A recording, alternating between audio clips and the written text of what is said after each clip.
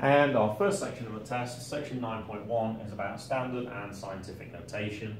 So scientific notation is when we've got a number between 1 and, some people say 10, technically 9.9 repeating, times by 10 to a power. And we're going to use our Desmos tool a lot for answering these questions as well. Oops. We get rid of all the previous stuff we have on here.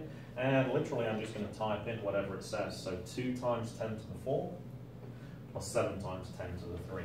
And I'm just going to put the parentheses in the same place. I'm going to have to keep flicking backwards and forwards. So 2 times 10 to the power of 4. And use my right arrow key there. And one more.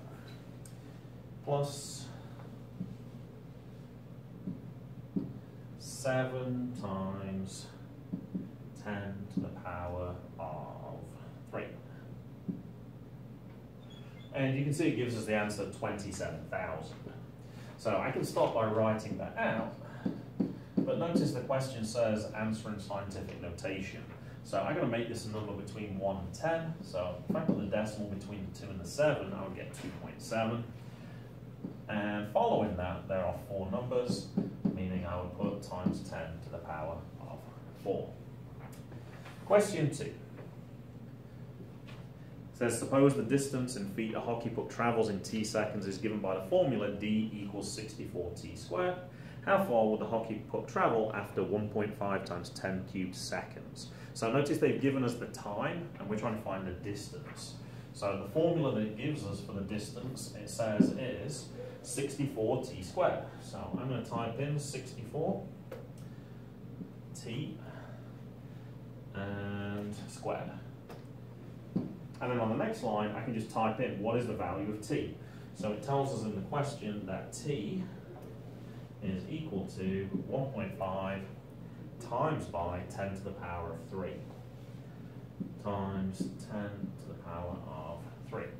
So we type in the formula we're going to use, we type in the value that we want to substitute in, and then this tells us what the correct answer is. So this is 144 followed by six zeros. So 144, oops. And like the previous question, we need to change this to scientific notation.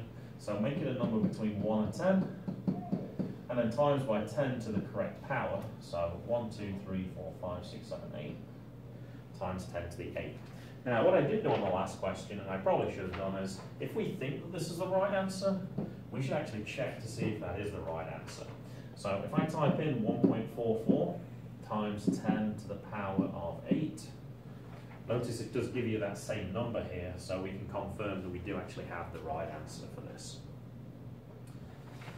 Question 3. The length of a side is 2 times 10 to the 5, and it tells you the formula is s cubed.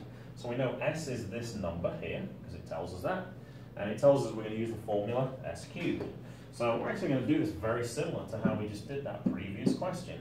We're going to type in the formula first. So s cubed.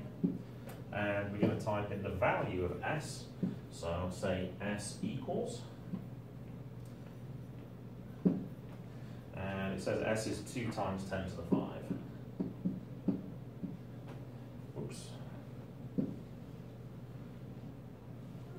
2 times 10 and once again, it gives you your answer. And actually, this time it actually gives it to you in scientific notation. So 8 times 10 to the 15. Now, just so you're aware, you could do this one by hand, but you don't need to. Remember, cube means multiply something three times. So 1, 2, 3. And then if we start multiplying in order, 2 times 2 times 2 is 8. And our rule of exponents is when we're multiplying, we add the exponents together. So 5 add 5 add 5 would give us 15. Now, if it's easier to do these questions as well, finding the s is kind of tricky. You can always just put x in for every question anyway, and you would still actually end up with the same answer. All right, question four. Light travels at a certain speed. How long does it take to travel between certain points that are this distance apart? And we've been given a formula here. Distance is rate divided by time. Now the question says how long does it take, which means what we're trying to find here is actually time. But our formula says distance, so we should probably rearrange that straight away. So if distance, I could just use the first letter here as well, equals r times by t. If I want to find t, instead of multiplying by r, I could divide by r. So we're using our work for literal equations. Now actually rate isn't actually referred to anywhere within this question, but it does mention miles apart, which would be distance.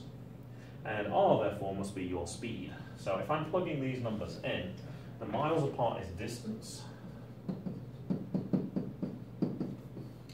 And the rate is the speed, which is 1.86 times 10 to the 5. And I can type that into Desmos, and it would actually give me an answer, and then you can just make sure that your answer is in scientific notation as well. So with word problems, just make sure you read through them very carefully and you find the correct operation. And that concludes section one.